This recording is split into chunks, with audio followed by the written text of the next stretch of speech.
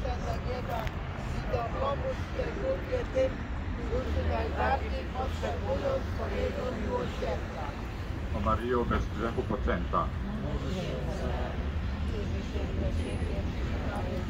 Za wszystkimi, którzy się do Ciebie nie uciekają, a zwłaszcza za nieprzyjaciółmi Kościoła Świętego i błogosławieni Tobie. Ten różaniec odmawiamy w intencji zadośćuczynienia Panu Bogu za grzechy przeciwko naturze oraz bluźnierstwa popełnione w wielu polskich miastach.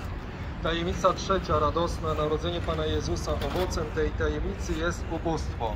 Ojcze nasz, któryś jest w niebie, święć się imię Twoje, przyjdź królestwo Twoje, bądź wola Twoja, jako w niebie, tak i na ziemi. Chleba naszego powszedniego daj nam dzisiaj i odpuść nam nasze winy,